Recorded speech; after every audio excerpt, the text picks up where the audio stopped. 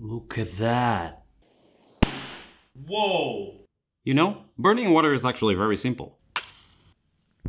You don't burn it like this, of course. What you do is you break the H2O molecule in half using electrons. That process is called hydrolysis, and all you have to do is stick two pieces of metal into water and connect them to a battery. The gases that come out are hydrogen and oxygen, and those two together burn very well. This video was brought to you by Trainwell. This design is of course a little bit crappy, but I have a great idea to make this better. We'll come back to this in a minute. Well, now, why would I want to burn water? Well, one of the reasons has a weird name. Stoichiometry. Stoichiometry means that by splitting water, you get the perfect amount of oxygen to burn the perfect amount of hydrogen. That's neat and all, but that's not the real reason why I want to burn water. The real reason is hydrogen is really, really powerful. This is 1 kilogram of bananas, which has around 900 calories, and calories is a unit of energy. And energy is universal, meaning that it works for food, but it also works for fuels. So I can basically say that this kilogram of gasoline has 11,000 calories. That's worse than peanut butter. Can you imagine how many calories there's in a kilogram of hydrogen? Well, it would make you fat pretty quickly. It has 34,000 calories. That's three times more than the amount gasoline has. We should probably use hydrogen for everything, right? Well, it's not very easy to get a kilogram of hydrogen. You see, a kilogram of gasoline fits neatly inside a soda bottle, but to get one kilogram of hydrogen, you would have to fill an entire room. Okay, maybe not this room, probably Harry Potter's room. Hydrogen is normally a gas, and gases are not very dense. But even if I went to the extreme of cooling it down to minus 250 degrees Celsius to make it a liquid, it would still need a 10 liter jug just to get a kilogram. Water, on the other hand, has a lot of hydrogen, already has oxygen to burn it, and it's pretty easy to find. I want to burn water because I want to build a powerful rocket engine. Come here. You see, I found this service online called JLC 3DP that 3D prints stainless steel parts pretty cheaply. How cheaply do you ask? Well, I designed a simple rocket to give it a test and ordered the part using their website, and it only cost me 35 euros. For metal 3D printing. Isn't that insane? Yes, it is. The part arrived pretty quickly and I got very excited.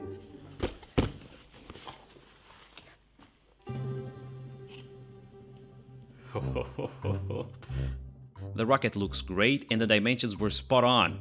Also, I got this spanner wrench ring that I designed myself. Finally, I have a way to 3D print metal that doesn't cost me my house. If you want to 3D print these, um, you can find the files in the description. Okie dokie, I have my rocket. And now I need my fuel. And by fuel I mean an HHO generator. Like I said before, this design is a bit crappy, I need to improve it. So I went to the place where you go to get good ideas. YouTube. I found some cool stuff. Some of these designs use washers and they stack them up to get more surface area and thus more gas. Water is not really good at conducting electricity, so almost all of them use sodium hydroxide to make it more conductive. Hands down, my favorite design was made by Ben from the YouTube channel Nighthawkinlight. He uses stainless steel scouring pads as electrodes. And it's genius, because they're super cheap and they have an insane amount of surface area, which means a lot of gas. Great, I can just use two scouring pads as electrodes, and I'll get a lot of gas, right? Yes and no. Well, after seeing all of that, I got an idea. By putting sodium hydroxide in the water, you're making it conductive, but there's still a resistance. The farther away the electrodes are from each other, the more voltage you need to push through that resistance. Meaning you want the electrodes very close to each other. What I need is a design that is like two scouring pads interlocked with each other without touching each other, so I can produce a lot of gas very efficiently. I thought about it for a while, and then it hit me. Lattices. More specifically 3D lattices. They are these self-repeating 3D structures that are normally light, strong, and have a lot of surface area. And the queen of the lattices is this one, the gyroid. The gyroid is an infinitely connected triply periodic minimal surface. Long category. It was discovered by a NASA scientist in the 70s called Alan Schoen. Schoen? Schoen? This is a very lightweight, strong geometry that is used in many structural applications, but I'm not interested in that. I'm interested in the fact that it has a lot of surface area and divides space into two different volumes. This is a gyroid block. If I fill the space inside of it, I get these two volumes, blue and orange. Now, if I remove the gyroid, I'm left with these two lattices that intertwine with each other very closely, but never touch. Do you see where I'm going with this? I can use this anti-gyroid as electrodes and get exactly what I want. Sponsor time. This is me four years ago, and this is me last year. The difference is that I started going to the gym, and what I did at the gym didn't really burn a lot of calories, but what it did was, it got me out of the house, it made me tired, which means I slept better, I felt better, and I didn't really feel the need to eat all the time. I think the hardest part of going to the gym for the first time was the fact that I didn't really know what to do or how to do it. So back in 2021 I got a personal trainer, and it worked, but it was a bit expensive. It doesn't need to be though. By the end of last year I stopped going to the gym. I lost the habit, and I felt it pretty quickly. I gained weight and I couldn't sleep very well. But now, I'm back on the horse, and that's because of Trainwell. Trainwell, formerly known as Copilot, is this app that connects you with a personal trainer. Mine is Mike. We started off with an onboarding call so Mike could know what I wanted and what normally makes me miss out the workouts. This is why I say it's, it's a great thing it, this is happening because it's kind of is going to be like a push to, to send me in the right direction again. Yeah, I'm really excited that you're getting back into it now. Um, are you looking to get back into the gym or what is that going to look like for you? After that, Mike prepared custom workouts for me that I can do at the gym or at home. The app shows you exactly how to do the exercises, what equipment to use, how much weight to put on, and most importantly, how much time to rest. If you feel something isn't right, you can always message your personal trainer or even edit the workout yourself. I know you might feel like working out is not really for you and it's too much work, but that's exactly how I felt about creating this YouTube channel. And now, I'm very glad I did. If you want to give it a try, go to the description and click my Trainwell link. Go.trainwell.net slash Integza to get 14 days for free with your own expert personal trainer. You won't regret it. Back to the video. This is a unit cell for a gyroid. I had to watch a tutorial to model this. And because the gyroid is self-repeating, I can just copy and paste this cell in all directions and subtract it from a shape to get the anti-gyroid. Or so I thought. To get a lot of surface area with this lattice, I need to make the cells very tiny, which means I need thousands of them. I tried modeling this on my 3D modeling app, but when I tried to pattern this in all directions, the app pooped its pants and crashed. Apparently to 3D model lattices like this, you need another type of 3D modeling. It's called implicit 3D modeling. And I know that because of Tom. Not that Tom, the other Tom.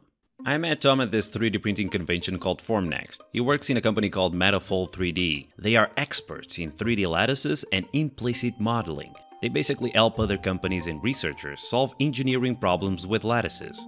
It was actually Tom that told me about the anti-gyroid lattice. It's not called anti-gyroid lattice, by the way. It's called I2I lattice. But I think anti-gyroid sounds cooler. I asked for his help and he let me use their modeling app to get my anti-gyroid. Their cloud-based app is awesome, and it didn't poop its pants, by the way. I got my file and I used my most precise printer to print it. This is the Form 4 from Formlabs. It's fast, it's precise, and it prints resin. Right, I have my 3D printed lattice in resin. But now I have a problem, which is resin is not conductive, and my electrodes need to be. Not to worry though, I had this problem before. A few videos ago, I used electroplating to add a layer of copper to my ion thruster that was also resin 3D printed. To do that, you paint the part with an electrically conductive paint, you put it in a copper solution, and you pass electricity through it. The problem is that in that project I used this conductive spray paint, and in this case I can't really spray paint that.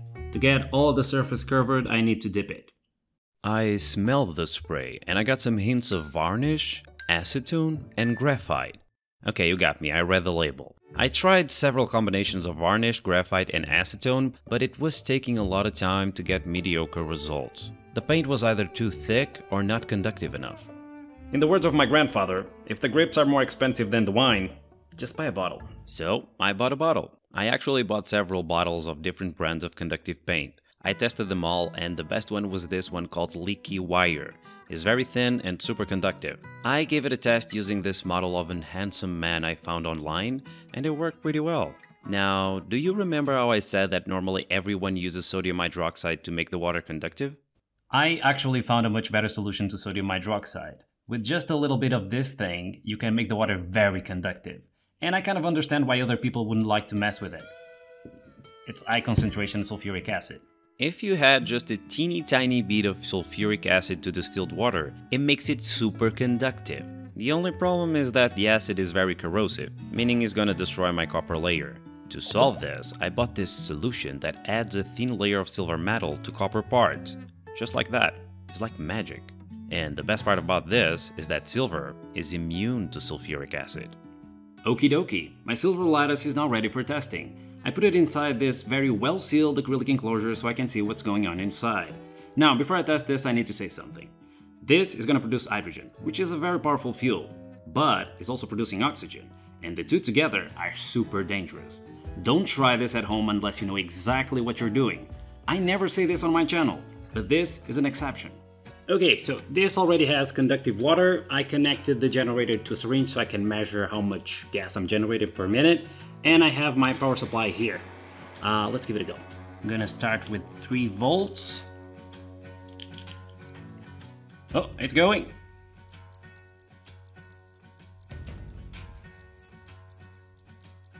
And that's one minute. Okay, about 50 cc per minute. I'm not even sure if that's great or not. Um, yeah. Whoa! Whoa! Whoa! Okay, I'm gonna give it a try with this uh, lithium battery. It has 7.4 volts and I think it allows more current, so we should get more gas. I think I'm getting limited by the power source. Whoa! Look at the difference. Yeah, I'm guessing I was limited by the current. Wow, the battery's getting hot. Look how red that is. I don't even know what's happening there. I'm guessing the silver is oxidizing and is leaving behind the copper. But then again, I thought silver was more resistant to corrosion than copper, so I have no idea. So I was curious about that red stuff that was forming. Uh, I thought it was the silver coming off, but it's not. It's some kind of deposit because I can wash it away. Look, you see? Okay, so I did some research, and apparently silver doesn't really react with sulfuric acid, but it does react a lot with sulfur, which is being released during the um, hydrolysis. I didn't know that.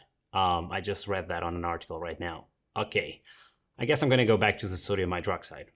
So, I found this alchemy spell online that uses salt, baking soda, aluminium, and boiling water to remove tarnish from silver. That's what's going on here. In the meantime, I'm gonna use my replacement ladders. Oh yeah, of course I have a replacement. What do you think, I'm an idiot? I'm an idiot, yes, but I'm a prepared one. Actually, I'm prepared because I know I'm an idiot. Pouring water into my generator. Let's hope it doesn't get destroyed this time. Because this lattice is a lot of work to do. This time instead of red is turning black? Is that better or worse?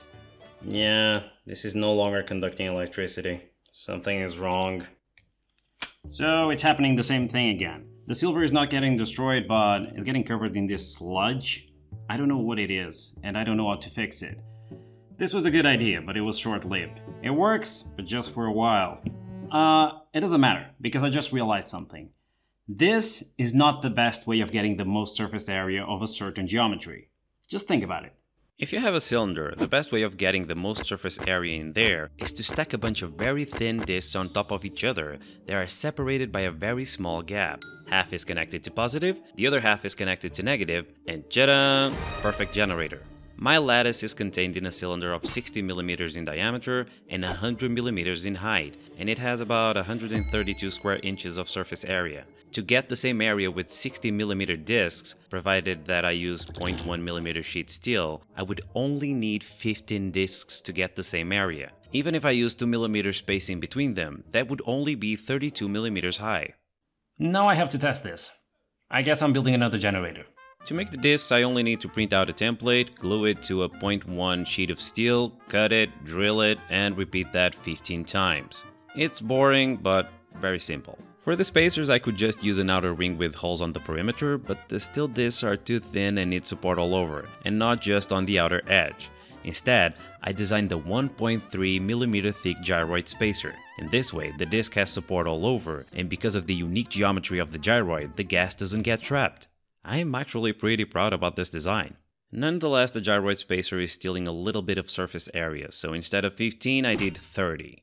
The spacers I printed in my Form 4 in batches of 10. That was easy, the hard part was removing all the support material by hand. It took me an entire morning to do that. Don't forget to subscribe. So this works like this. This rod will be connected to positive and this one will be connected to negative. I place a spacer and a disc. The disc has a small hole and a big hole. That is so it touches one of the rods, but not the other. On the next disc, I do the opposite. Big hole on this side and small hole on this side. Right now, I have a positive disc and a negative disc. Now I just need to repeat this 14 more times. The last one. Nice. It's looking good. I'm really hoping this works because this was a lot of work. Okay, this is ready to go. I'm really hoping this works. Let's give it a go. New design, new hope. Three, two, one, go. Look at that. Wow. That's so much more gas. The battery is getting hot though. I'm gonna have to stop. But look, it did 150 and a minute hasn't passed by yet. Design! This design is a win! Look at that.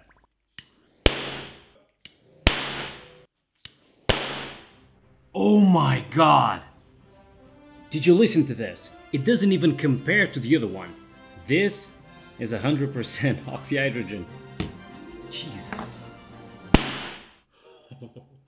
Okay, now it's time to connect this to my rocket engine. For the injector I machined the plate in aluminium. I couldn't fit a regular spark plug in here, so I made one myself using a steel straw from IKEA, some plaster, and copper wire. It works pretty well. Okay, I know this is a little bit of a mess right now. This is still not wired, but I'm using an Arduino to control uh, the arc lighter that is going to do the spark, um, the relay that is going to control the generator, and the electro valve. Uh, the generator is going to be switched on and off uh, when the valve is on, so I can save current and also be safer. I also have a flashback arrestor valve, and the generator is down there to be also safer. Let's give it a go.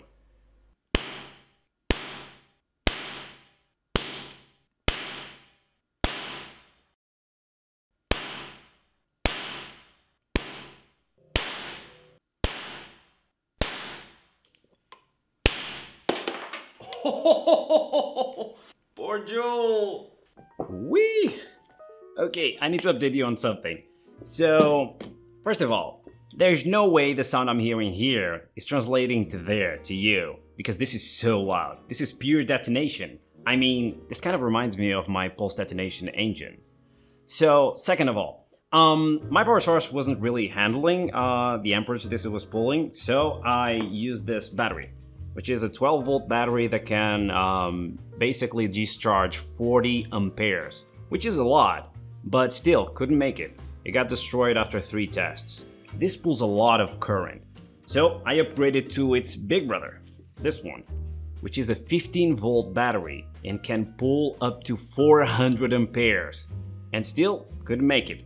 It died. Um, this is pulling too much current. I don't really know what's the solution for that right now, but this is really promising. I just really need to find a solution, I guess.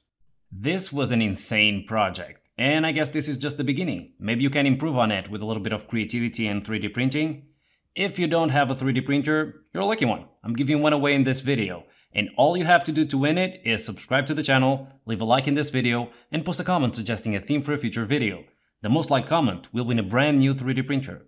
On that note, a big thanks to Trainwell for sponsoring this video, and don't forget to click my Trainwell link in the description to get 14 days for free with your own expert personal trainer. Also a big thanks to you for watching, and remember, tomatoes are disgusting. See ya!